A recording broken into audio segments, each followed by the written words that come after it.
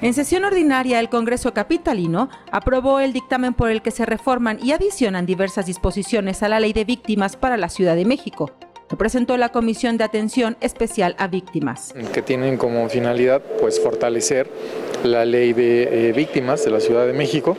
Ahí vamos a tener la posibilidad de poder incorporar a la Secretaría de Mujeres, poder generar políticas públicas desde la perspectiva de víctimas también en todos los órganos de dirección de la propia comisión que existe en la Ciudad de México en materia de víctimas. Legisladoras y legisladores del Congreso de la Ciudad de México aprobaron un dictamen para exhortar a la Fiscalía General de Justicia de la capital a impulsar la apertura y operación de albergues y refugios temporales para víctimas de delitos porque las mujeres van a tener un lugar seguro y digno a donde llegar, van a ser cuidadas y van a tener atención de salud, atención psicológica y un gran apoyo para que de manera individual puedan salir adelante, empoderar a las mujeres, apoyarlas y tratar de eliminar esta violencia de género, que tengan un lugar a donde llegar cuando se sientan violentadas.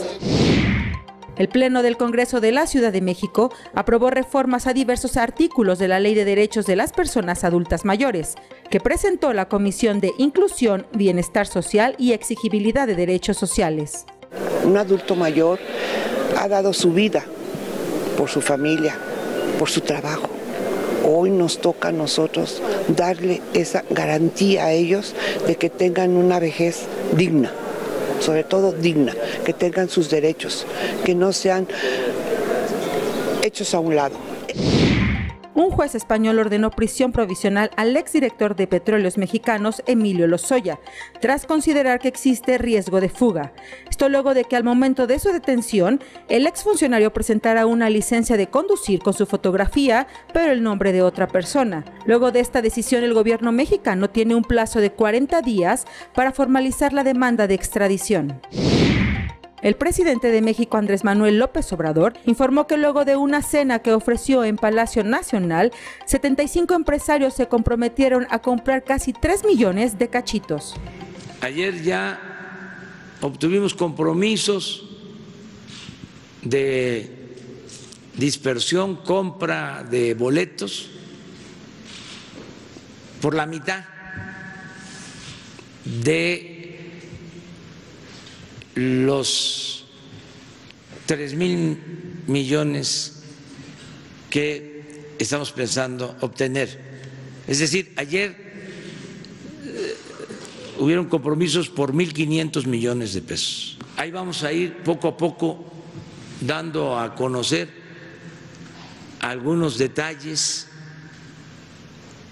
porque ayer mismo uno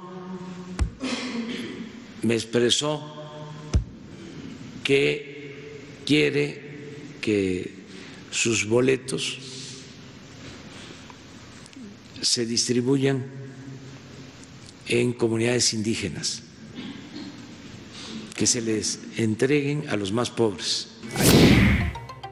Sintonícenos en el 21.2 de TV Abierta, 155 de Axtel y 637 de Total Play y síganos en nuestras redes sociales. En Twitter nos encuentra como arroba Ciudad TV 212 y en Facebook como Ciudad TV 21.2.